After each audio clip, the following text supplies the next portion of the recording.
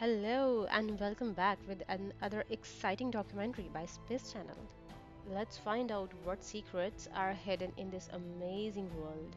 We have gone through Titania, the largest moon of Uranus. Today, we will explore Oberon, the ninth most massive moon of the solar system. Our planet Earth has only one natural satellite, the moon. Aside from giving us light at night, it also plays a big role in our climate. While the Earth only has one moon, other planets have many. Uranus, for example, has a whopping number of 27 moons. Oberon is one of the 27 moons of the planet Uranus. It ranks ninth on the list of most massive moons of the solar system. Taking the first part is Jupiter's moon, Ganymede. It is followed by Titan of Saturn, Callisto of Jupiter, Io of Jupiter, our moon of Earth, Europa of Jupiter, Triton of Neptune, and Titania, another beautiful moon of Uranus. Well, this moon was discovered in 1787 by William Herschel, the same person who discovered Uranus just six years before. It was the son of Earth's discoverer John Herschel that named the moon Oberon. The name was after Oberon, the king of the fairies, from one of the most famous plays of Shakespeare, A Midsummer Night's Dream. More information was gathered about it in January 1986 when Voyager 2 approached the closest to the natural satellite. No magnetic field and atmosphere were detected from it. The Voyager 2 probe was the only close encounter we had with Oberon and the whole system of Uranus. Its nearest approach to Oberon was approximately 470,600 km. One exploration for the formation of Oberon is that it was born from Uranus' accretion disk. This disk is made up of gas and dust which may have originated from the formation of Uranus. Another possible origin of this disk is that it may have formed from a big impact that largely affected Uranus, resulting in its large axial tilt. This tilt has a big impact on the season of this planet. Its northern and southern poles are either bathed in total darkness or perpetual sunlight for 42 years straight. One year on this world is 84 years here on Earth that is about the entire human lifespan. It has one of the most extreme seasons in the solar system. Uranus is 1.8 billion miles away from the Sun, or roughly 2.9 billion kilometers.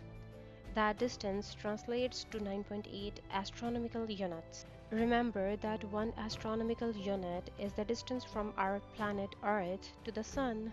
Oberon has a dark and slightly red appearance. In fact, it is reddest among all the other moons of Uranus because it has the same orbital and rotational period of 13.5 days.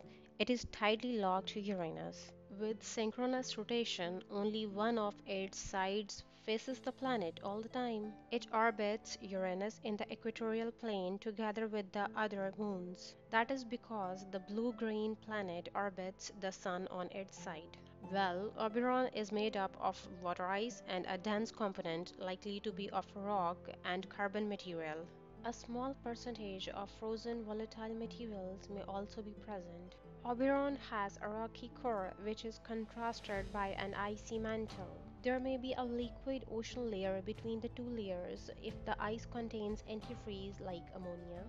The radius of Oberon is approximately 761.4 km it has a surface area of 7,285,000 square kilometer.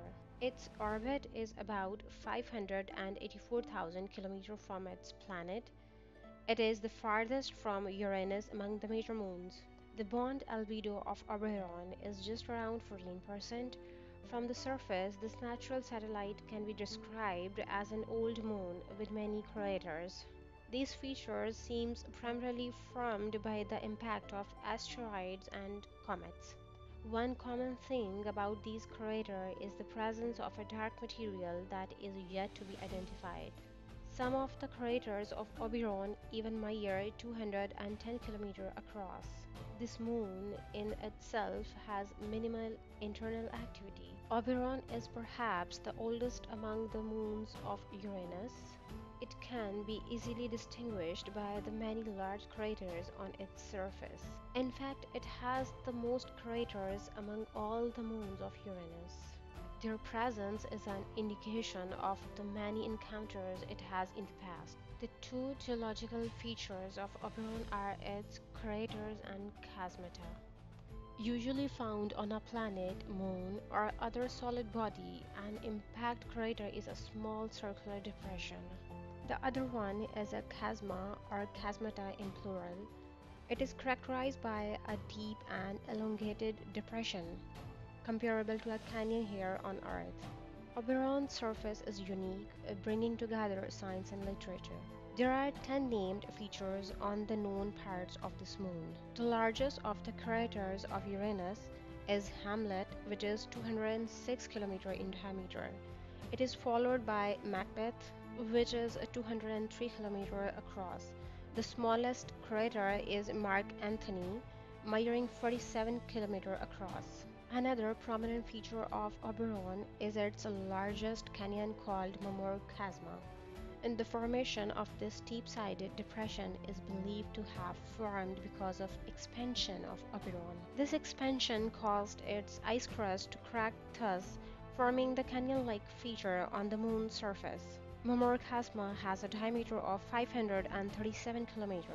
Voyager 2 is the only close encounter we have with Oberon which took the only available close-up images as seen on NASA's website. This probe photographed about 40% of this moon, however, only 25% of it allows geological mapping. When our sun will engulf our home planet after becoming a red giant in about 4.5 billion years, habitable zones of solar system will change. Who knows, Oberon could be one of our home by then. Please like, subscribe, and share to support and watch more interesting documentaries on space and planets.